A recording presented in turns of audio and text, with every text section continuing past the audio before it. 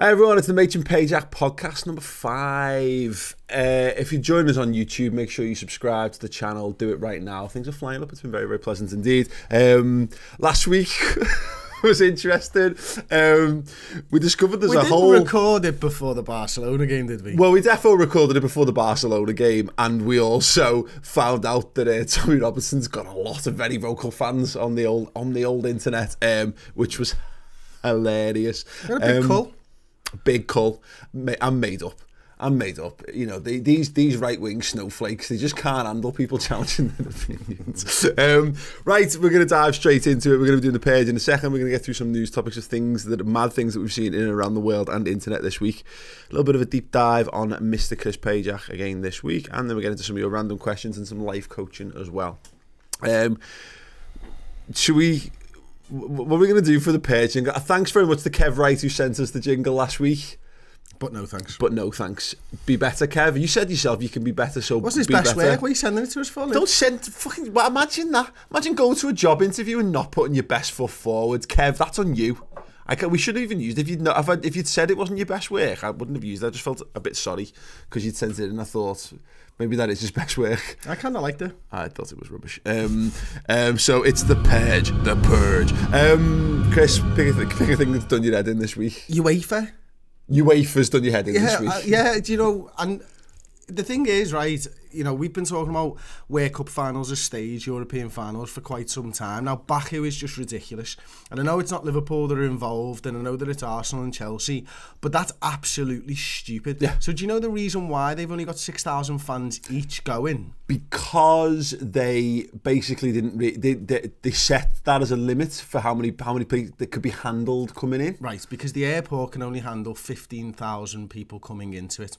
This is a European Cup final with 67,000 people going to it. Yeah. Yet they've staged it in a city with one international airport that will allow 15,000 passengers through the door. So they have now capped 6,000 fans from each of the two sides in there. That's just stupid. First of all, there's no direct flights from a lot of major cities i- around the rest of Europe. But then to also, like, you know, and then they're talking about like, oh yeah, but you know, it, it, this was decided two years ago pick a fucking city that can handle it then. Yeah. Baku actually went for the Champions League final as well this year, right?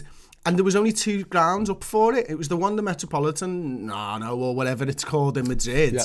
that we're going to, slash you, and it was the one in Baku. So Baku might have staged both of these finals had it not been for more corrupt UEFA business Hmm. that's decided that Madrid's going to give them all the money this time around. And not only that, but it's questionable why it's even held there, you know, uh, Yeah. uh, politically and all that type of stuff. It's crazy.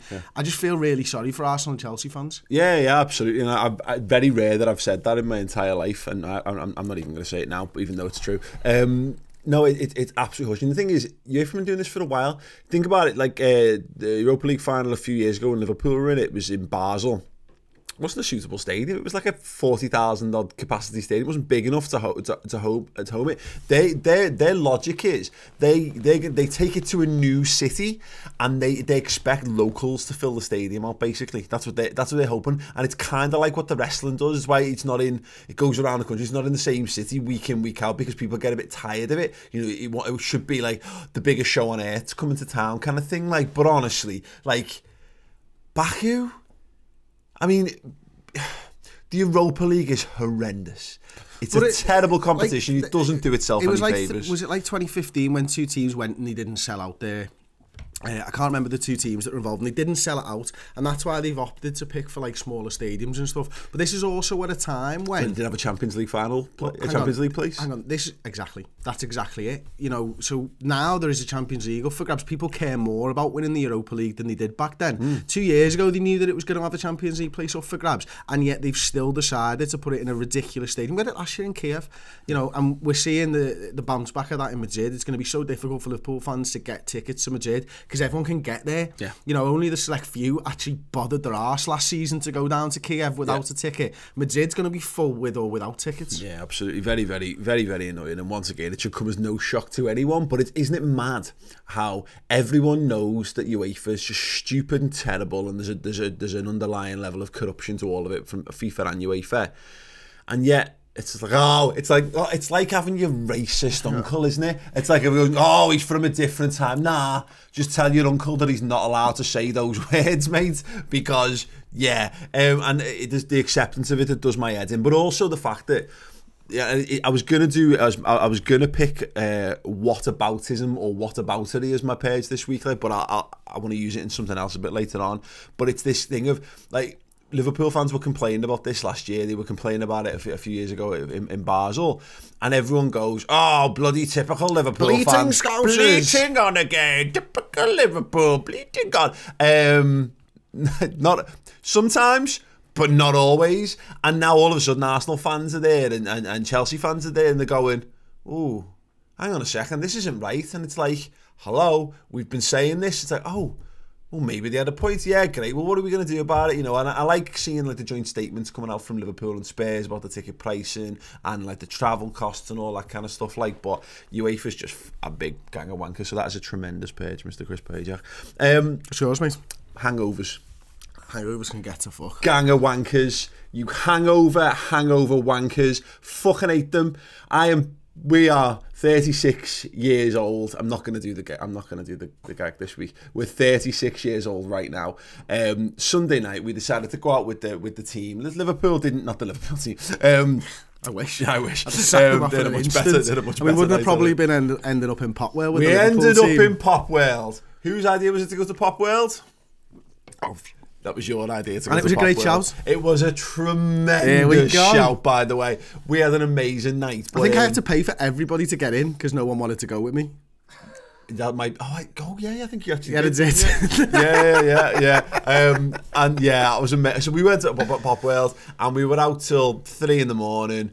And uh, for some reason, I, I moved from bitter to lager to rum and coke when were you drinking bitter? in the pub beforehand, before we left. In the Wow. five ways, yeah. Um, Via a Haribo shot. via a shot of Haribo, via many Sambuca, and I had an amazing night and it felt great. We had But such you don't a drink rum and coke? No, it, don't- I mean, it ultimately, Chris, it doesn't matter. You know, at, at that point of the night, it didn't matter. How can something that makes you feel so good feel so make you feel so bad? How is that fair? And how is it even more fair to the point where I'm now at a time in life where I don't do it very often. It's not like I'm ruining my liver on a, on a, a daily basis. There was a year when I was 21, 22, when I was drunk for 364 on 363 out of 365 days, and I remember them vividly. Funnily enough, the days I was Which is sober. what- which is- yeah, one I was dead ill, and the other I couldn't sleep because I hadn't had a drink. Um, I was fucked for an entire calendar year. This is not that.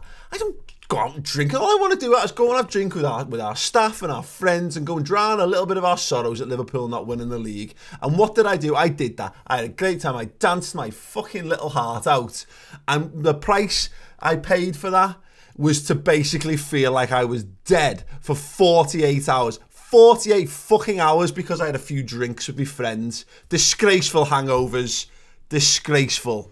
That, that That's that nighttime person fucking over the daytime I person actually again, watched that it? episode of Seinfeld last night. Yeah, night night Paul ruined the day Paul completely and utterly ruined me. And Pop World owned us both. Pop world. I mean, I made it into work, did you?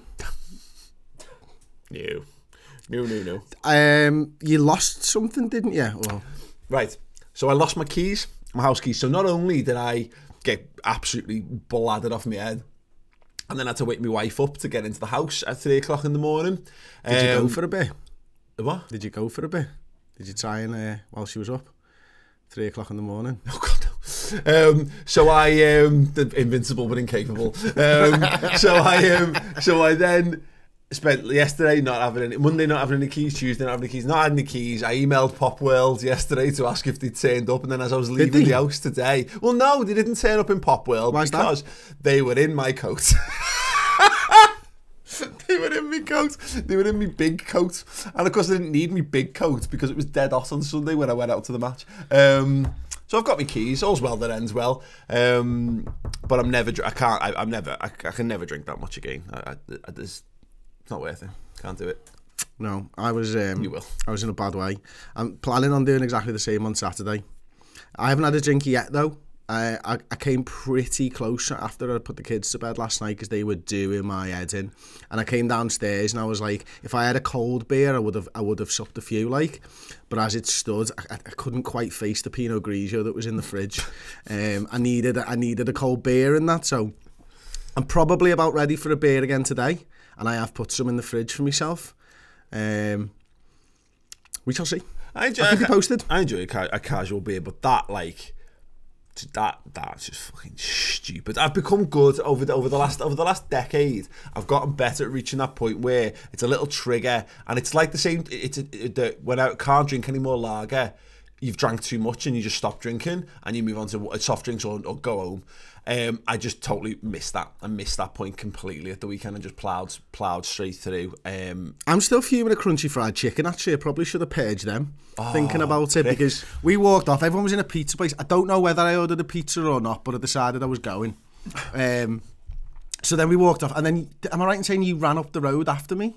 I seem to remember. Yeah. yeah, Yeah. Um, because you, like our good friend Aubrey Reynolds, are a disappearer. yeah. Oh yeah. I know. I'm You'll just go. Yeah, and I'm totally cool with that. And Yeah. I've got a home in Beacon. I can get home ish. Well, you'll either get home to your house, your mum and dad's house, or your old house. Yeah, I've, I've been known to do that a few times This is the house that you've sold and no longer and haven't lived that for. I think the last time I was there was I've, I've lived in our house for five years. The last time I ended up at my old house was about three years ago. so I'd, I'd moved out at least two years prior, got the cab to the wrong house, then got out, got in another cab, got confused as to where it was, and got dropped off by, by, by Belle Vale.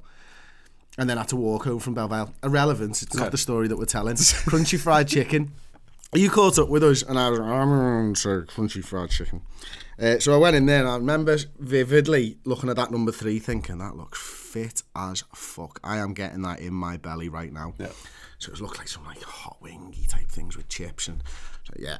And I couldn't say it, and I couldn't read what it was, so I gave him the number. I was like, two number threes, please, because I don't think you wanted anything. I think I just ordered you some. And uh, yeah, I think I'd said, oh, just yeah, go ahead, just get Two me num- Chris is Chris is an expert chicken orderer. two number threes, Normally. please. And he gives me this thing, and I look at it. I think you're outside the shop at this mm-hmm. point, and I look up at the picture, and I look back down at the shit that he's handed me. Is this that? And he's like, yeah. I was like, that's red. These are chicken nuggets. and he'd basically given us some horrendous chicken nuggets. horrendous. They were barely. I don't even know what they were. It was like it was like deep fried chicken bits. It was disgusting. But then you do what you normally chilli and mayo You do and what you normally do. Just throw ketchup and mayo on there so that I can't see it, please, mate. Because I'm going to be sick if I can see that. Like, and I did eat it all. Like, don't get me wrong. And I think Chris really enjoyed it at the time. Um, Um, no, you never, because you left it in the taxi when Did I, I? when I dropped it off, and I had, to, I had to take it and put it in the take it and put what was left in the bin when I got home. um, so yeah, good night was had by all, but hangovers can get a fuck. Um, right, news topics, things that we've seen this week. Have you seen that Mike Dean is a Tranmere Rovers ultra? mate. I loved this. Mm. I saw so many people going on and they didn't like it, and I shouldn't be surprised, but I just thought it was brilliant. Because everyone Man enjoys yeah. himself. Phew. Well, he's a referee, and referees are not supposed to. This is not. This is not like Joey Barton having. I mean, I know you, you had to go this is like having fifteen thousand cases of gambling on, on, on stuff or whatever. I can understand how there might be a, it might cause a conflict of interest, but they don't allow it. You've got you've got to like football if you're a referee, surely. Uh, I'm not sure. No, but you mean like people who don't like football don't go don't don't know and care about football. You either, you either love football, I think, or you or you or you fucking absolutely hate it. I don't think there's much in the way of middle ground. So is it a shock that Mike Dean, who is a fucking oddball anyway, is it a shock that he should happen to support a football team? No. No. It's a shock that he supported Tranmere.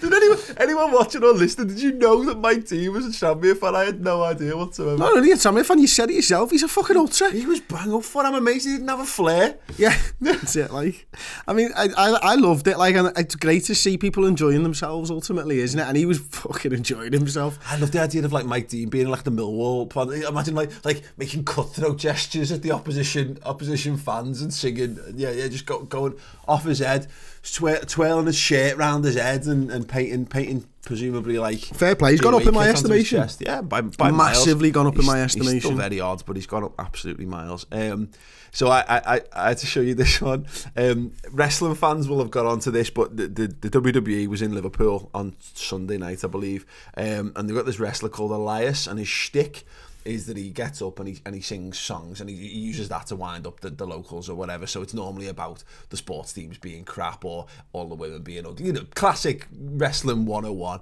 Um, so yeah, Elias decided to put a Man City shirt on and sing about Man City winning the league.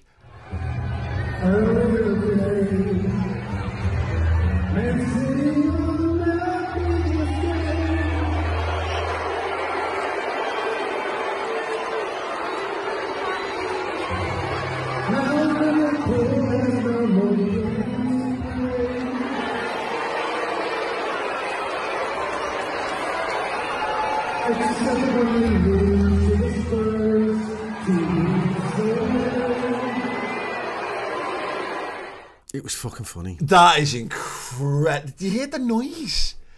The, the, uh, he was singing yesterday, and everyone's singing along. Like the whole arena's pretty much singing yesterday, and then that was that was almost louder than. Well, it was certainly louder than the Etihad was in the Champions League quarterfinals last And when, year. and when they won the league. yes, absolutely. Oh my god, did you see the state It's of that? pathetic. Pep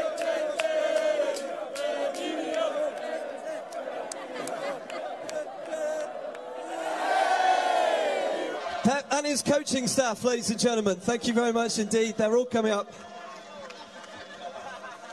there you go. Don't sit on it. I think they pay people to be there, you know. I now here's the thing. The, the, the video clips of them celebrating, I, I've, I've, heard it, I've heard it said that it, that was like very late in the day and it was very late on. So people are not going to be like giving it the absolute biff as if they've been there. Uh, if it's like everyone's held the trophy up and it's like the 15th person. I, I don't know. I don't know. I'm trying to make a defensive case for it. I don't have to. But I saw some someone on Twitter that said the kids' boss night was more of an atmosphere, and it was like ten times more of an atmosphere than them Yeah. winning the league. I'm always, I'm wary, I'll, I'll be honest, I'm wary of a little bit of that because of the fact that I'm sure there'll be videos from that where it was going absolutely mad. But because we've seen things like the how they greet their coach, where it's like, at number 21, David Silva. Um, Mate, it doesn't it, it doesn't feel like a logical leap to think No. that's well, You- how good has it got? I'm not being funny, like, but you could have a chess match with more of an atmosphere than you know, and when the players walk out for a chess match Yeah. and players arriving at the Etihad, you know what I mean? These are some of the takes his seat. there you go, four times more claps. There you go. like. No, no messing around. They're um, they're bad. They're they're terrible. Like, but that that uh, Elias thing was absolutely hilarious. Brilliant. I, like I'm a, I'm a I'm a big wrestling fan. Like, and you know, we were both massive wrestling fans in our in our, in our teenage days. It's just I I, I can't bring. And that is the thing. There's been loads of these memes and stuff flying around, and I'm look. Liverpool didn't win the league, and I am upset they didn't because I really thought they were going to, and they were really good. But when we live in a culture of like uh, some some banter can be toxic, and there's one point that the horrendous we'll pick up in a second.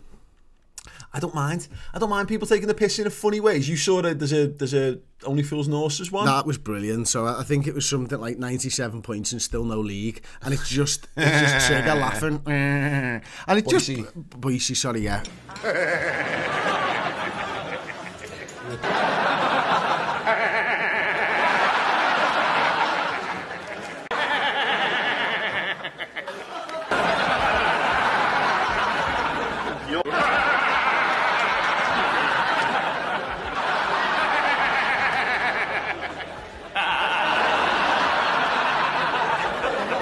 and it's just friggin' hilarious because I, I got sent by a Liverpool fan and he was like, and it was my cousin, and he goes, Chris, I know you take footy dead seriously, but just watch this, and I hope that you, I hope that you get it. did he think she'd take footy that seriously? nice of him, isn't it? Well done, mate. It's my entire life, Ed. Thanks. Um, and then I got it. I was like, yeah, that's funny. Fair play. That Yeah. that's good content. Because it's, not banterous age type content. Yeah. It's just good, wholesome fun. Yeah, that's fine. That's the kind of stuff that is is is fine. Like I, I, but yeah, the thing that's done everyone's head. And I did a video of this over on my over on my channel, but I want your thoughts on it. The the City players on the plane singing the Allez song, and obviously the lyrics including Kompany injured. Salah. Salah, Liverpool being battered in the streets. We lost in Kiev. Sterling won the double. Scousers won fuck all.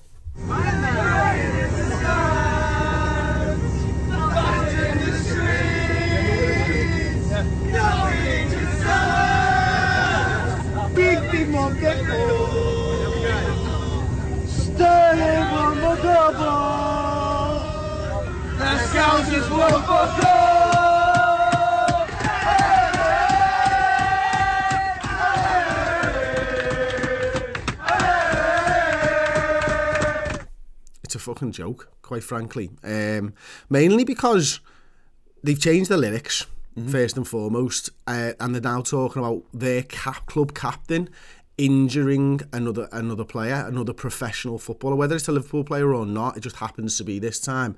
The song clearly, when Man City have brought this statement out, I haven't read the statement because I think they've said it to reporters. It's gone to the. I saw it through the mirror. So I've seen I've seen it through the mirror and I've seen it through Sky Sports. I've looked for an official statement and can't find one. And they're saying, well, it doesn't reference this, it doesn't reference that. Right, I've been in arguments on Twitter last night with Man City fans who were saying exactly the same thing. And I'll reference you back to our first podcast that we did together on MXP that said uh, that we said I didn't mean to offend anybody with the Rent Boys stuff, but as soon as I found out that I did, I then apologised and we took that video down. Yeah. That's how adults react to things that offend people. Yeah. Not to say, oh no, it's not what we meant. Yeah. Well, listen, the, the lyrics are there. You, the victim thing is clearly aligned to Hillsborough. Battered on the streets, whether you're saying it's Sean Cox or not. Fans on Twitter were going, it's not Sean Cox, it's the ones in Kiev. Mate, Great. fucking brilliant. Yeah. What are you fucking doing? You're talking about lads getting beaten up going to watch a football game. How far is it from a lad who gets punched in the face to hitting their head on a curb and fucking dying? Yeah. Do you think that's funny then? No, then shut the fuck up about it being battered in the street. That's absolutely ridiculous. It's your fucking players.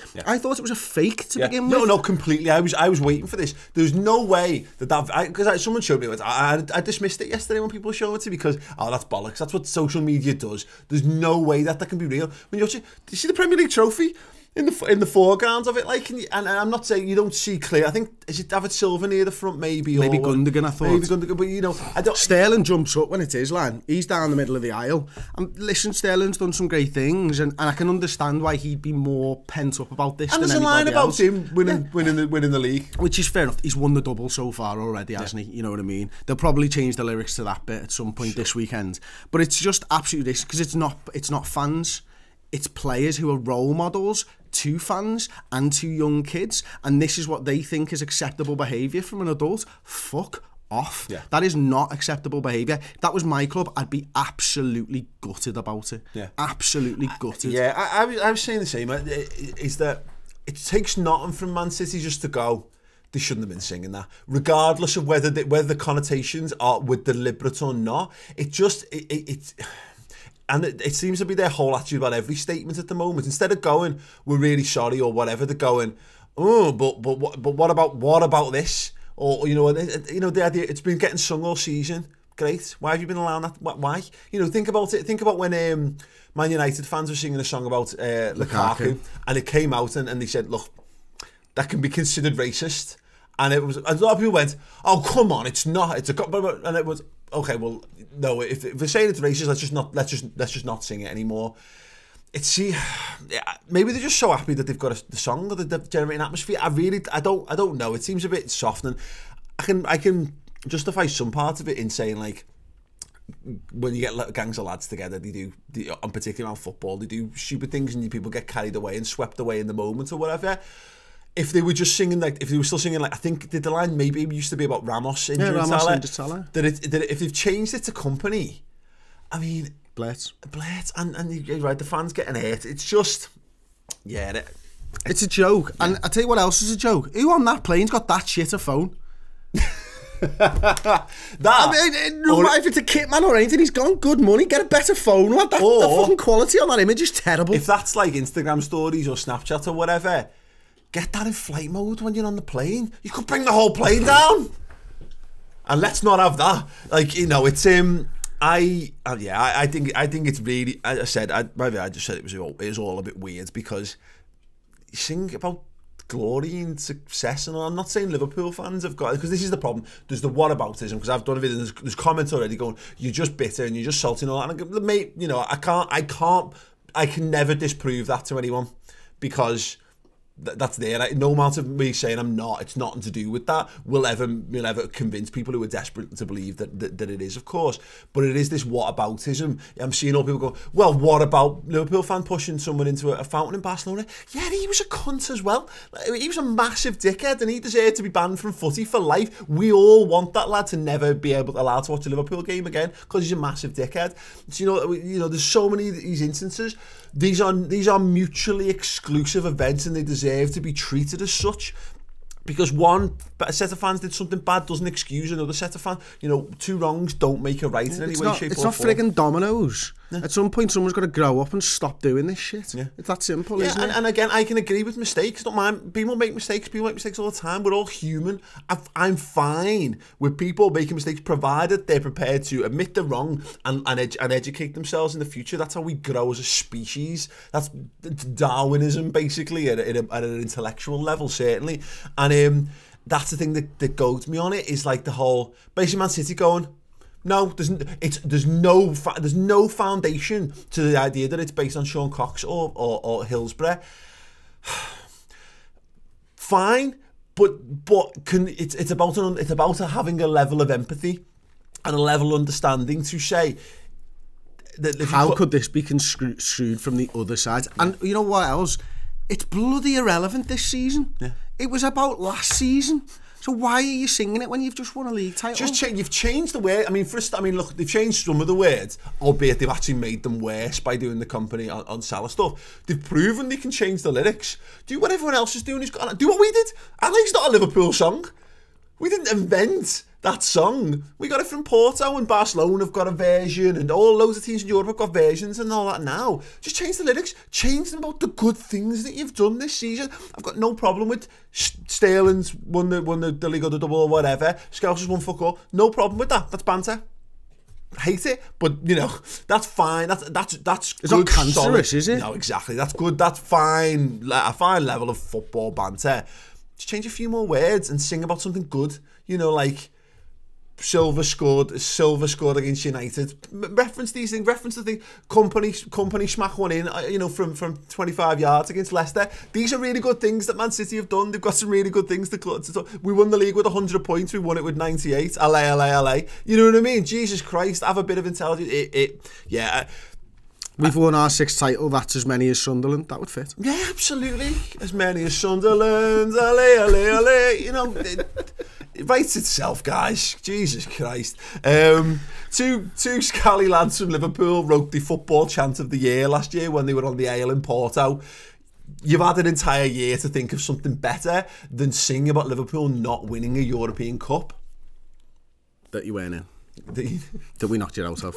it's, it's like them singing about oh it's like when the Chelsea fans sing about Steven Gerrard slipping like I know that was in a game that they played in but it was it was about us losing the title to man to man to, uh, baffling football And you know the other thing that's, co- that's come out on the back of this? It's I, I know we talked about football Twitter and stuff last week, and, and we've done the purge section and stuff. But them like them accounts that are now getting set up that look by the at like a Liverpool fan. Yeah. And they're not Liverpool fans, and I'm sure there's ones for Man City fans that aren't Man City fans. What is that about?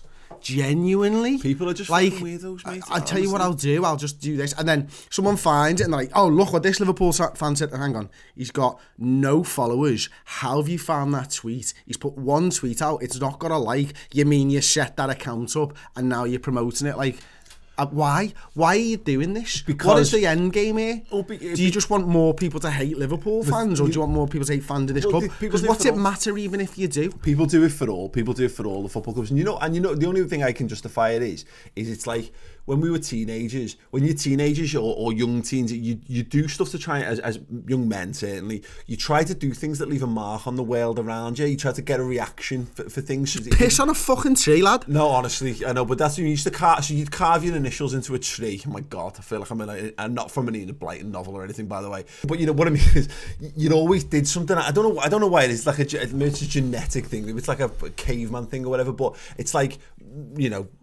Graffitiing on walls or you know we you do you just do daft stuff. Like you leave something to when you come back the next day you can say like I did that. I did something to impact this world. And I think people need that. They, they do it they just do, I think they can all I can only imagine people do it for the gratification to say you can show your mates. It's why people go on Twitch streams and, and, and troll because you can then show your mates that clip of when you made a Twitch streamer react to something you said. That's just it's just something tangible you can say. I did, but it's a bit sad and it's a bit weird. Like, but you know, you're right. It's it's it's it's fucking social media aids at its absolute finest. I, I, I genuinely, and maybe it's because I'm older. I just don't get it. I just, I just don't see the need in doing it. Like, and you know, even last night I put, I put a tweet out and stuff, and I probably, I typed it once, and I thought, you know, I'm not quite happy with the wording of that. I'll change it, and I changed it, and I thought to me, and I got people, loads of people replying like, you're a fucking dickhead and all this type of stuff. I was like.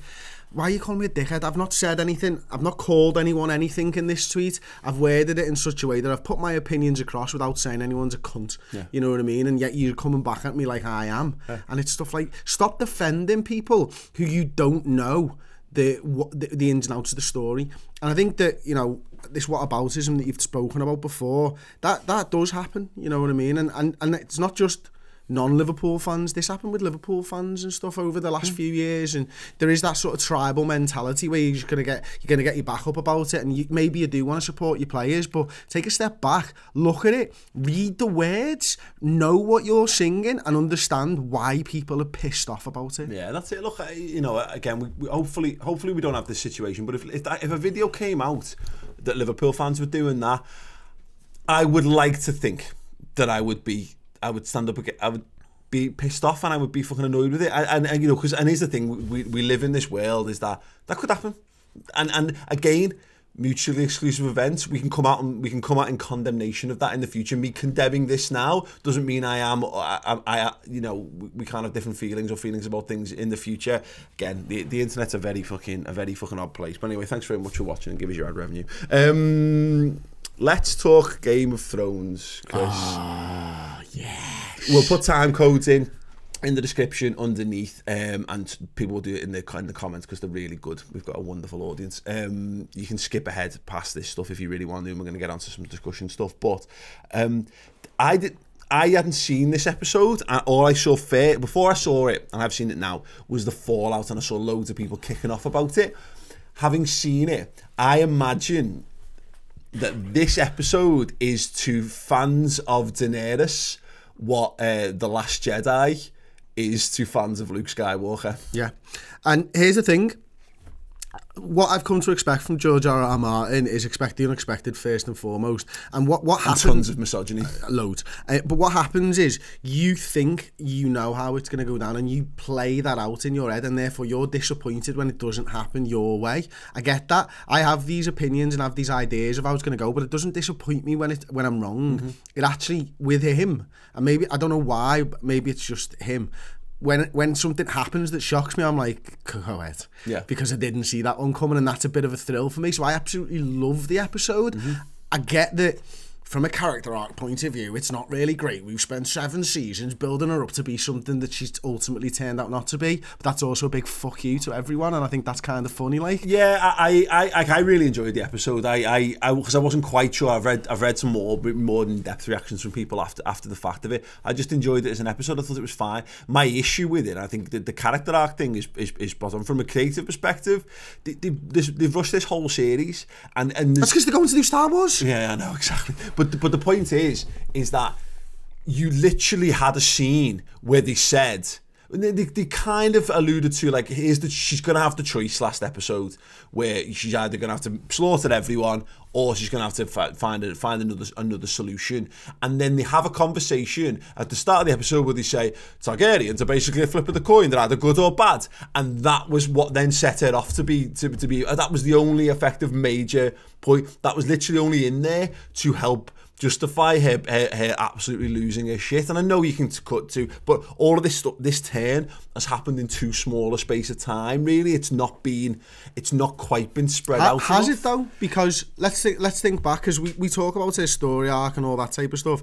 Maybe it's just one too one too many things have happened to Yeah. her. I mean, let's be honest. She was burnt alive. Um, she lost her husband. She's been raped. Yeah. Um, she's lost two of her kids Yeah. recently. Yeah. Um, the person that she's fallen in love with now doesn't want to fucking have sex with her anymore because he, he- he's a, nie- a nephew.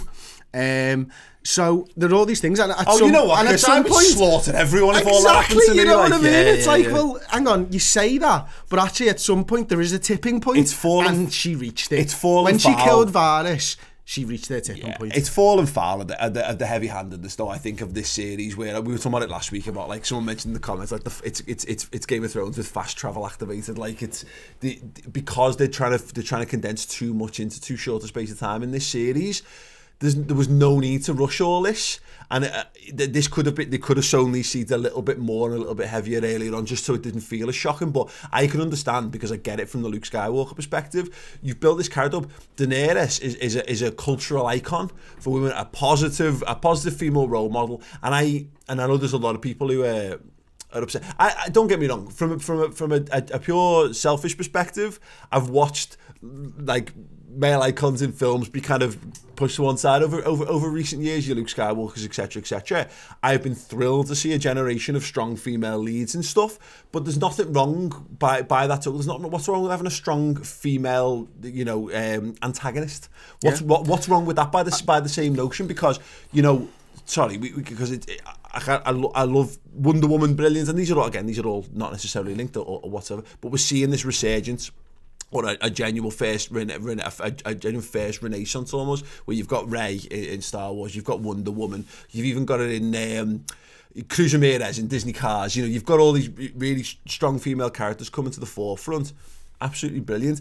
But is that because of that, it doesn't mean that every every basic has to follow down the, the same path. I, I, I agree. I think basically that... everyone who's pissed off named the kids Danny or Daenerys because I think it was in like the top 100 names in the world like over the last couple of years. Yeah. And and now they're there going, what the fuck yeah. have I done naming an after there? Game of Thrones. Uh, fandom has become like football fandom. It's like all those people who named the kids Fernando.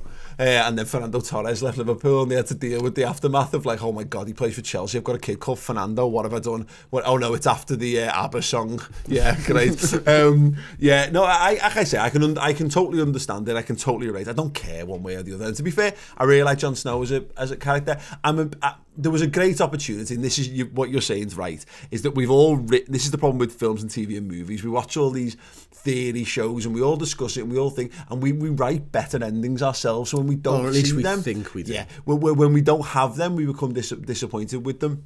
Sometimes it's just bad TV and, and bad movies. That wasn't fair. bad TV. No, that I- wasn't bad TV. I mean, I don't know how much Cersei gets paid an episode, but fuck me, she just drank, drank a glass of wine looking out a window for the entire season. it's been ridiculous.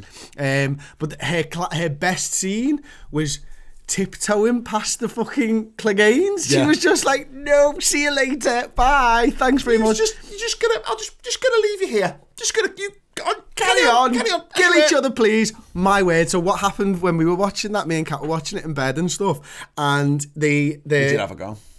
No, I wasn't in the right mood to be honest with you. Maybe if I'd not seen the White Horse. Anyway, um, so what happened was they were having their big fight. He stabs him through the eye, doesn't he? And mm-hmm. then he gets pinched in the eyes, or vice versa. And then they obviously th- he throws him out the thing, and they obviously burn and hopefully die. Then our stream cut back five minutes, and ca- and it came to the mountain again, and she was like, "No, he's not awake again." And I was like, no, it's just skip back five minutes, love. And she's like, Thought he survived. Oh my god, amazing! Absolutely incredible. what's not satisfying about the episode is Cersei's death. yeah. If that in, is indeed what happened, and I think it is. But really, I really, I really was a little bit disappointed with that. I, I just wanted it to be a bit more gruesome. But what they've, yeah, I, I think what that that's one thing that's worth considering though is like, it, what it what it effectively did was you look at the despicable actions that she's taken. It's kind of like saying she she. It, it's saying she wasn't necessarily. She was semi-redeemed in some respects in that she wasn't a total monster. She always had she always did it for the she, she always did it for whether it was like this for the kids like she had a, like a mother's instinct or whatever that was behind a lot a lot of what it does You which I can't go don't around wholly- killing people because you've got a baby in your tummy. no, I know, I know, which I don't hundred percent agree with, but I, I, I don't know whether that was a that was a similar. I thought you're right. I thought there was a little bit a little bit more that could have done that, but it's all fell foul of the same thing. It's like it's literally like we've got this amount of characters to kill off and this amount of They screen knocked time. about six off, didn't they, in that just- episode? It was crazy. Just flicking them off like left, right, left, right, and the, centre. the, the, the Cersei's uh, is it Kai, Kai Yeah, something or whatever, Kaimon or something like that. His, his death was just out of nowhere. Death, yeah, you literally. later, dead. Dead. Smash dead. Brilliant. Yeah. That was brilliant. Can we just replay that, please? Yeah. Because I'd like to see that one again. I'd really love to see that one again. And Yeah. there were so many great things that happened in that episode. Arya Stark running through. Follow me. I'll save you. Dead. dead, Brilliant. Dead. Um. Okay, so everybody's dead around here. Brilliant. I, I thought it did. It, it got that whole what what it's done in recent episodes, and it was it kind of redeemed the the, the Winterfell stuff for being too dark, as it, it really gave that that like vision into the horrors of what they're all in in the, in the midst of, and you see like you see Jon Snow going through it, and you see Arya like struggling just to just to get out, and that's because it it, it tells you the, how horrific what's going on around you. Is and the the the the problem the hero story isn't really a hero story anymore. You you don't get to save everyone. And these aren't superheroes. These are you know for a, for a TV show these are real people dealing with this horrendous horrendous situation going on around them. So I thought it was a really good episode. It wasn't what I it wasn't what I expected. Um I did and I do honestly feel as though for the for how good the character Daenerys is, and we've still got a couple episodes. And I'm sure there'll be something. One more, isn't it? Yeah, also yeah, but I'm sure there'll be something mega that happens, you know, and whether if she if she has to be the ultimate ultimate evil, then there has to be something really amazing that happens with that. It's got to be Jon and Arya versus her. Yeah, sure. Maybe maybe it's that. Yeah, I guess that makes that makes perfect sense, doesn't it? And but he, so there's still time, and there's no sense in everyone getting totally losing losing the shit Also, over what it. was but the point in the gold company? No. They got obliterated in about three seconds. Yeah, it was all. That's what I mean. Uh, This, this, this, they should have just had double the episodes and took the time over it and really like allow people to, to live in it a bit more. I do feel it's all a bit. It's all been a bit rushed, but um, totally enjoyable. It's just a shame because there was a chance there for Jon Snow to continue to be Jon Snow. So he gets to be he gets to be who he's always wanted to be. She gets to be who she always wanted to be, and I still I still feel like we're going to come to that. Like I it's gonna people are gonna be dissatisfied and what you'll have what what we're gonna have when we do this whenever we get the chance to review because I don't think I'm actually here next week but we um we're gonna have people who go that was shit and then you're gonna have people like the the Emperor's New Clothes taking up the baton and defending it simply because they're huge Game of Thrones fans and defending no matter what turd ending we end up with defending it like it's the greatest So I, piece of I heard television ever. an, an interesting story that um, George R. R. Martin's actually finished the next two books. It's not true. He's debunked that since. Ah, come on, George, you useless fuckwit. Yeah, it's not true. Um, so yeah. Anyway, there you go. That's Game of Thrones. Prepare to be disappointed. Um, we'll talk about some some See, at least finish this, the one of them. I don't know. I, I've never read the books. Don't care. This will be me done with Game of Thrones after next week, so it's fine. No, I read the last book on my honeymoon in 2012. Yeah. That's so it's been eight or nine years since he's written the last one. Like Lazy, lazy, lazy, lazy. useless. Yeah. Um, No, I just list the characters, kill them all in different ways. End book. yeah.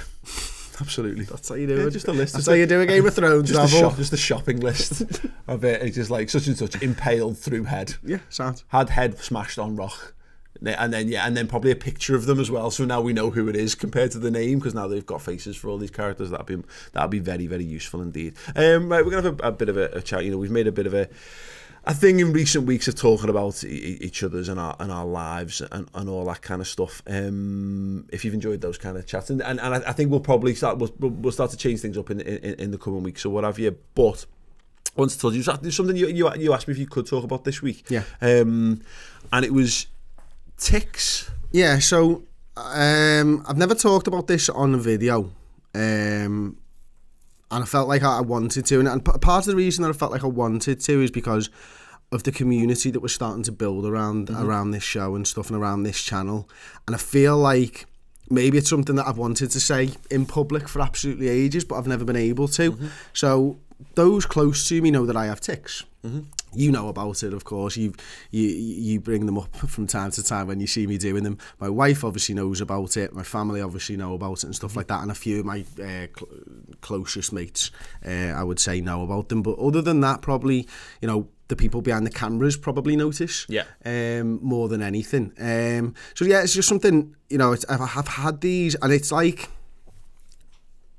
suppose it's a bit like well it is it's Tourette's in some form and uh, whether it's mild or what I don't know uh, I went to uh, a neurological hospital when I was probably I don't know maybe 18 19 20 mm-hmm. something like that like uh, and they saw me and said that that's what it was because I've had lots of motor tics mm-hmm. um, so just to clarify for people who aren't, aren't aware what it is, it's not like because ticks could be like the ticks are not the little creatures that. But no, so into his, into I'm, not, I'm not I don't. I can't blame my swearing on Tourette's. Let's just put it that way, because um, that's just me. Um, I don't have vocal ones like that. I've had the occasional one where it's like a, a clearing of the throat cough mm-hmm. uh, over the years and stuff, which I know a lot of people get. Um, mine are more like physical tics, like motor ones, where you just maybe you move an arm or you move a part of your face or something like that. So um, the the earliest I can sort of date it back to is my Holy Communion, believe it or not.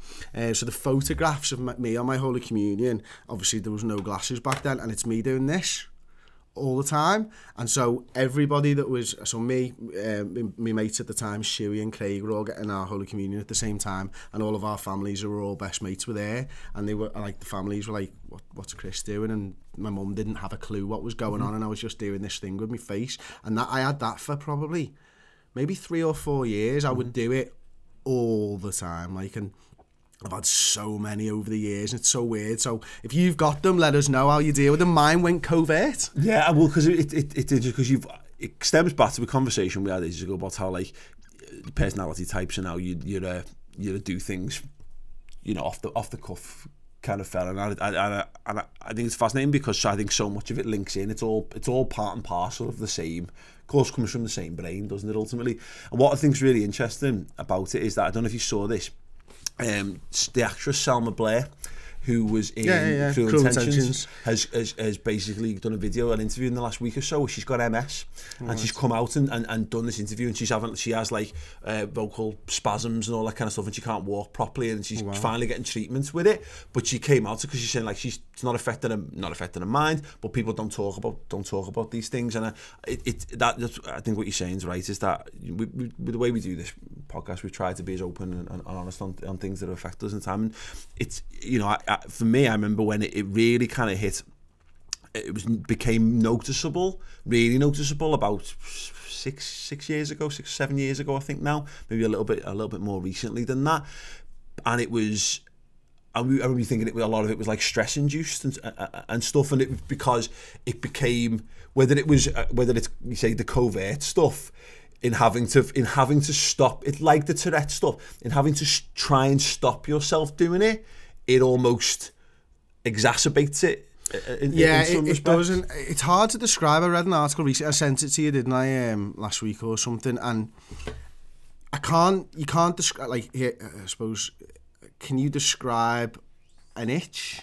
Yeah. Like how that makes you feel inside before you scratch it it's hard to describe what that is yeah. that you that you're scratching it's for. Like, do you know yeah, what I mean? Like a, like a compulsion almost. That exactly, something needs yeah. to be done. Something needs to be done. So for me, I've had loads of them. I've got one at the moment where I kind of move my shoulder a little bit, and to the point where it actually hurts, but I still do it, and I don't know why. It's like I can feel something there, and I know that if I'm going to do something like that, it will get rid of it for a little bit, and yeah. it, then it may change for something else. I had this one where I was like blowing my wrists all the time. You remember that one, don't you? Like, and so it's all it is. I think it is all stress related for me. Sometimes I go through really bad periods where I might have one particular one for a year, two years, something like that.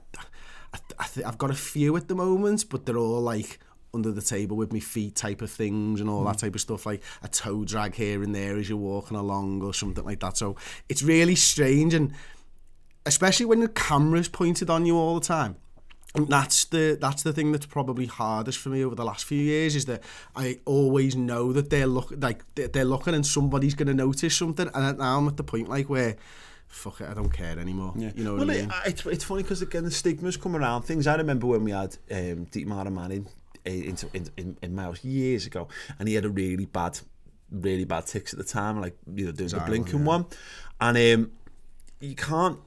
It's weird. It's it's you can't talk. It's hard to talk about to people about these things. Like we're men, we're bad enough. We were literally sitting in the studio, and someone could have two buttons undone in the shirt and the belly be hanging out, and we feel too embarrassed to tell someone. So we'll we'll sit what have a film an entire thing, and then and then and then let them get slaughtered off the back of it or whatever because we feel very uncomfortable pointing out you know other things like you know so it, it becomes that and I spent hours hours and hours and hours trying my best to cut around his things. And I, you know again I've never never spoken to him about it or whatever you but stuff isn't it? Because there is a degree particularly with the, in the world we're in where you can't you just can't help it. There's people who, who are just knobheads who who look at things and they point and they, they live to point out things. They live to just go be mean on things and what have you. So it's I I I, I understand completely. We joked about like the having bad the bad haircuts thing. It's I, you know if I, I I have that with I tell you what I used to never used to iron a shirt.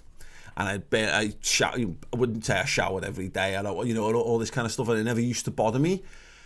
Now it all does because people say stop me if I go out odds are someone will say hello or, or want a photograph or whatever and I feel like I wouldn't like it puts me on edge that I might might go out and me fucking you know what I mean? Like I fucking stink or me fucking airs all over the place because it only takes one person to go the absolute state or, or whatever and that's the thing that you can't shift like it's so I yeah, yeah it's, it's mad isn't it? And that's it like people do know who we are now and people care probably more that if you if you do something stupid or you do something silly or something like that and I think you've got to get to a point and especially with you know the way that we're talking about mental health a lot at the moment mm -hmm. and I think it's so good what so many people around not only our community and our industry and stuff are doing but just society on, on the whole is now much more accepting of mental health yeah. uh, and it being an actual illness and understanding it from an illness perspective and stuff. And I think sometimes it's just better to just talk about these things and yeah. just let them out there yeah. and then, then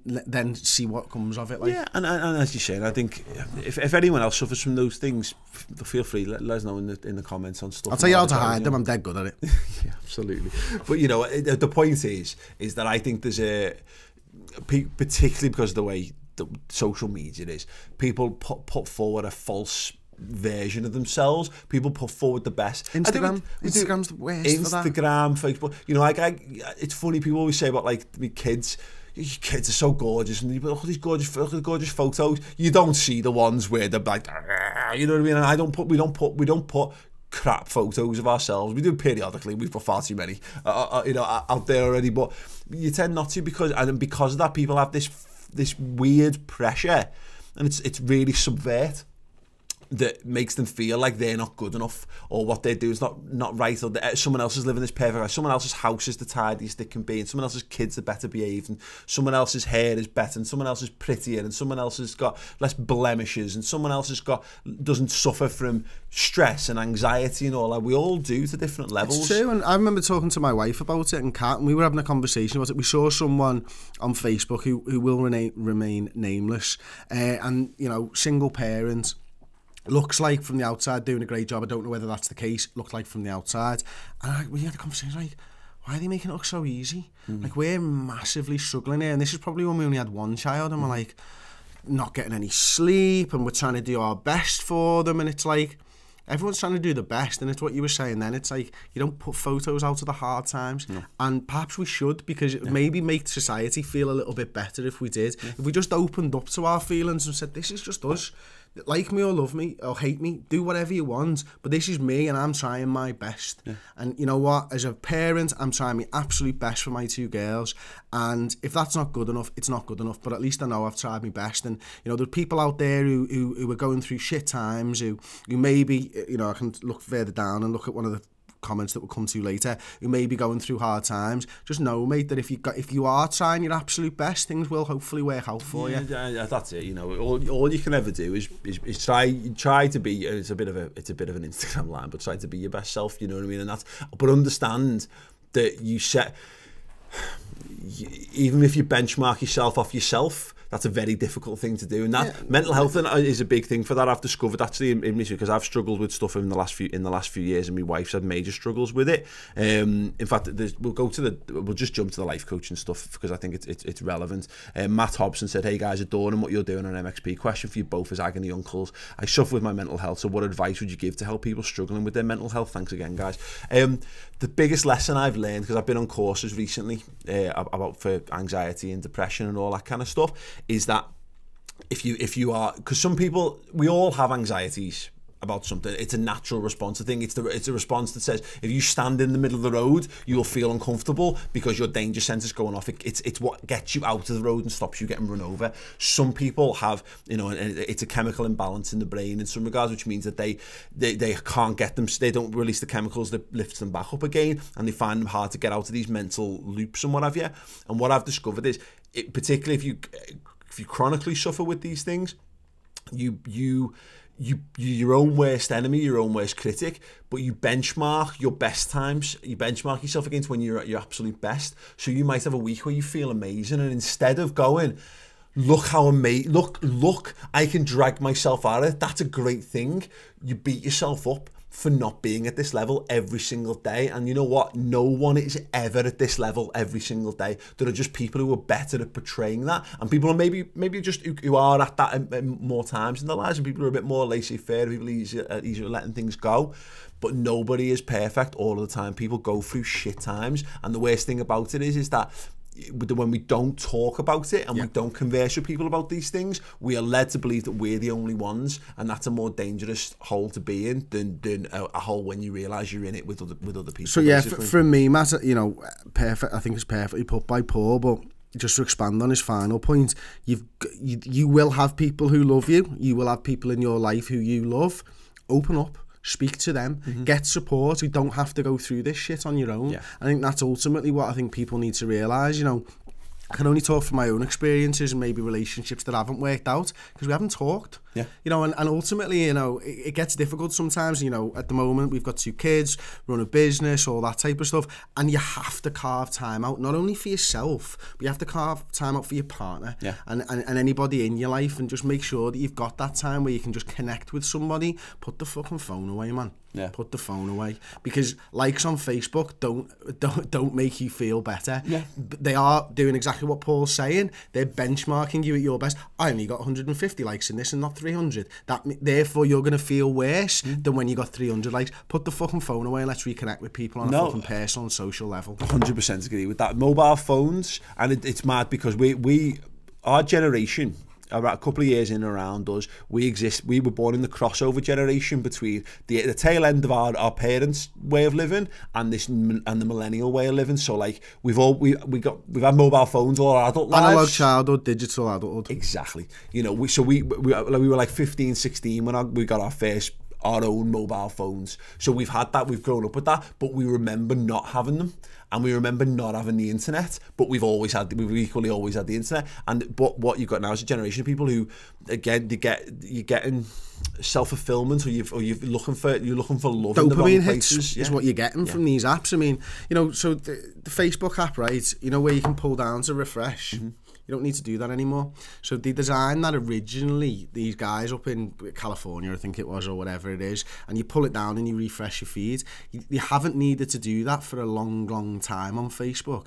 But why they've left it in there, it's like spinning a, in a spinning a fucking roulette wheel, like roulette wheel. Yeah, yeah. Uh, you know, I can't one remember bandit, a one-arm bandit. Is that you're getting a hit? What's coming up next? And they've left it in there because people are actually getting addicted to these fucking things, and it's crazy how many that this times, is allowed to go on. How many times have you sat there and it's it, it, you've been in bed for a spell of time and you've got your phone there and you've maybe done one last round of all your apps just to check what's going on check and then instead of putting it down you'll go back to the first app again so uh, for me I go like every time I wake up in the morning before I go to bed I'll check Facebook YouTube Twitter Instagram, maybe Twitch, whatever, all the all the things that we, we you know we do, and it, it, it does. It, for me, it's predominantly work related. But when you get to Facebook and Twitter, it can be a bit more you know, personal stuff. And then I'll go back to and then I'll go back to Facebook again and see if something interesting has happened. Then I'll go back to if nothing, I'll go back to Twitter again. And when you realise when you're refreshing it and you're getting two more tweets, so when you need to put it to put it down. And I've said for years, mobile phones are just devices now that we all carry around that allow us to have our days ruined at any moment in our lives. We never had that when, I was 14. I simply never had that because you just didn't you didn't have a phone yet. People had to contact you on your home phone, which meant it filtered Or out. knock people. on your door, God forbid. Well, you had, but your parents were, your, were the gatekeepers with conversation. So if you wanted, you had to have the bottle. If you wanted to speak to someone, you had to risk speaking to another person in order to speak to that. So you, it was terrifying when you first started ringing girls up and all that kind of stuff. Like horrible, horrible, horrible, horrible. Or, or, or your friends, you had to do with all this thing. Now, I mean, I had to have this with my wife because we had this. We had a few issues with, with you know a, a year ago, and and one of the things that was was proposed was she she realised she she needed to call me when I was in work because I can pick my phone up at any time, she could get me at any time with any problem. Whereas I can't do it in reverse because she's a teacher, so I would wait until she was she was finished, and she could she could basically throw up and go, "This is disastrous" or "This is fuck," and it would throw my day into absolute disarray because I wasn't prepared or because I've answered you feel like because you've answered you've got the time to deal with hmm. something. There's a the delineation between what's a can you pick some milk up on the way home and someone has absolutely wrecked my day I need you to counsel me for, for half an hour. There's, you never know what that's going to be so there becomes an anxiety when, there when, the, when the phone rings. Yeah, you do. I think everybody gets it. I mean, I, you know, I get it when so, a, a notification happens. I hate, I hate them, and you know this very well, don't you? You know, I look at, I, I set up all these digital well-being um, apps on my phone, and I started looking at how many times I'm opening my phone a day, and it's like. I was getting 390 fucking notifications a day. No wonder I can't concentrate on anything. No wonder I actually can't give my all to what I'm trying to do. I never achieve anything because I'm one of those people who I, I like to work like this needs doing, this needs doing, this needs doing, but I'm also one of these people who doesn't want to let people down. Yeah. So when something happens, I'll do that, and then I'll go back and I'll spend five minutes trying to work out where I'm up to, and then all of a sudden I'm, I'm spinning too many plates. I'm stressed as fuck, and my fucking heart's pounding like that because my phone's fucking keeps going, yeah. and it's madness. And I think what's random for me is, you know, I got the smartwatch a little while ago.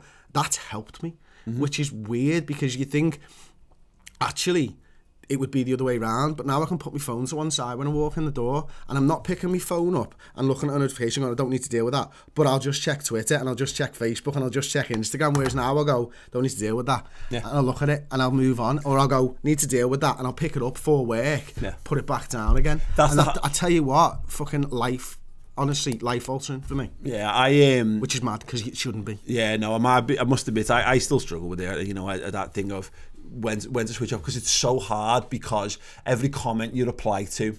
And every tweet you reply to, and every every time you share your content, it gets big, and it and it, and it, it drives on, and it never it never stops because there's always people doing it. And I'm not me complaining about the, the world I live in. I absolutely adore it, but it's very difficult. There is no, there, I don't have an off switch.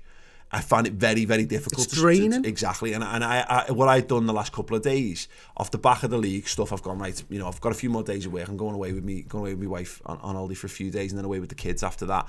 I just said I, I've, I've started leaving my phone in the bedroom. I'll leaving it on, the, leaving it somewhere on the side, and that's and that and trying to go because you've set you set it up for yourself, like because you're always available, and you and, well people will be pissed off because I'm pissed off when people don't answer. When you ring someone, you're like, your phone's always on you. Why don't you answer the phone? You know, we should start to accept that.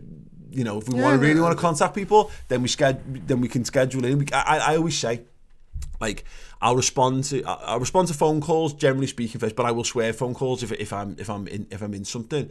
More often than not, like I, I hate answer phone messages, and I've always wanted to send an put record me voicemail as saying don't Please leave a don't. voicemail because I'll never ever I never ever check them. If you want if you want, just send me a text with generally what you want to talk about, and I'll prioritize where it is because it's you're right. It's it's it's too much. So I hope Matt. I hope that's not just. I'm not sure I think we've just unloaded on you Matt Yeah, yeah, but yeah. um, Matt, I hope that's helped in some Matt, way if you can help us.